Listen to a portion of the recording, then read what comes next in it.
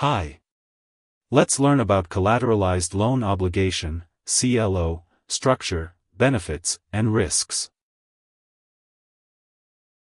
A collateralized loan obligation, or CLO, is a single security backed by a pool of debt. These securities are created through a process called securitization, which involves pooling assets like corporate loans with low credit ratings or loans taken out by private equity firms to conduct leveraged buyouts.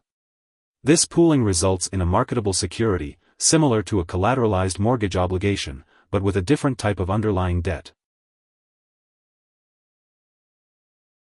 A CLO is a bundle of loans that are ranked below investment grade, usually first lien bank loans to businesses. These loans are sold to a CLO manager and consolidated into bundles of 150 to 250 loans. These consolidated loans are then sold to outside investors in a structure called tranches, which are pieces of the CLO. With a CLO, the investor receives scheduled debt payments from the underlying loans and assumes most of the risk if borrowers default. In return, the investor is offered greater diversity and the potential for higher than average returns. There are two types of tranches, debt tranches and equity tranches. Debt tranches have credit ratings and coupon payments, and come first in terms of repayment.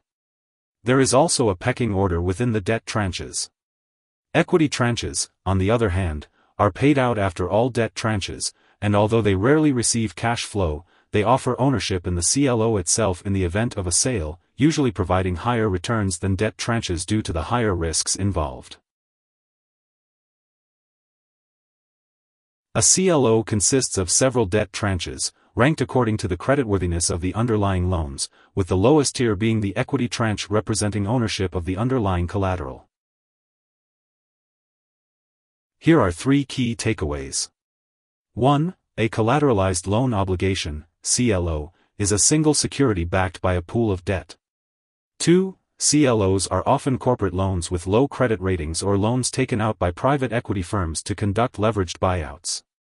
3. With a CLO, the investor receives scheduled debt payments from the underlying loans, assuming most of the risk if borrowers default. Hope this would help, thanks for watching.